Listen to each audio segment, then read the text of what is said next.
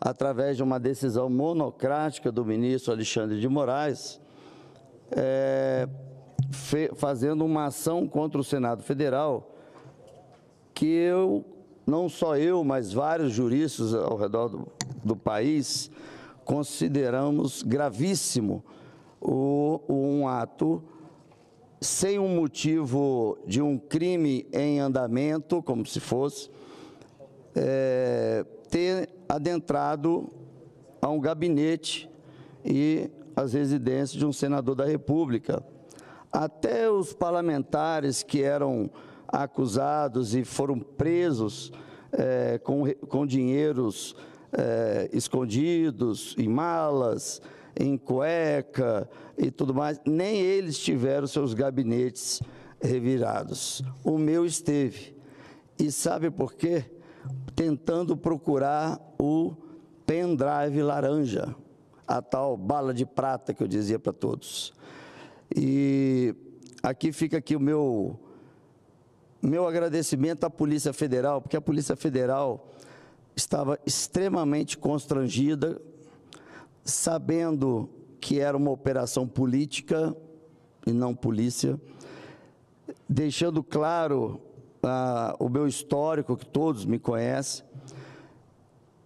Teve até policial que ficou emocionado, chegou a chorar no dia, pedindo desculpas e perdão por estar ali, tendo que executar uma ordem que ele também sabia que não era, não era dentro da Constituição mas eu deixei livre que todos pudessem fazer o que tivesse que ser feito. O que aconteceu, por um lado positivo, é que foi a primeira vez que teve uma operação nesse nível, tanto na residência minha pessoal do Espírito Santo, quanto daqui da funcional, quanto ao meu gabinete, de não encontrarem nada de ilícito, nenhum documento fomentando golpe, absolutamente nada. E essa operação foi deixada para acontecer no dia 15 de junho, dia do meu aniversário. E, e fontes me passaram que foi uma coisa que teve uma insistência do ministro Alexandre de Moraes para que fosse no dia 15.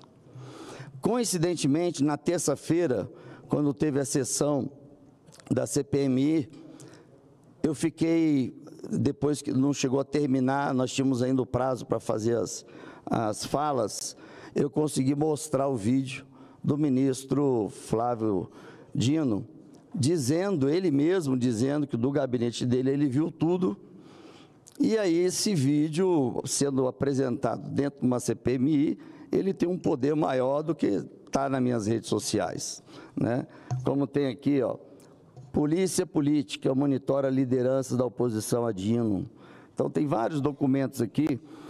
E todo mundo fica pensando, tá, mas qual foi o motivo que deu essa permissão de entrar dentro do Senado Federal? Eu estou tentando levantar historicamente se houve algo parecido. Fala, meus queridos, é sempre bom estar aqui com vocês no nosso canal do Facebook que está bombando.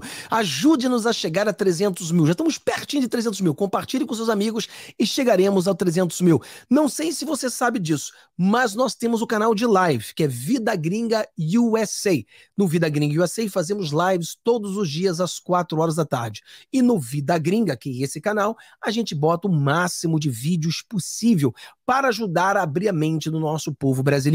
Não esqueça de nos ajudar. Você pode ajudar com o Pix. Aqui está o Pix na tela, você pode nos ajudar e compartilhando, se inscrevendo, dando seu joinha, deixando um bom comentário também, tá bom? Deus abençoe a todos. Vejo vocês na live ou no próximo vídeo. Um abraço.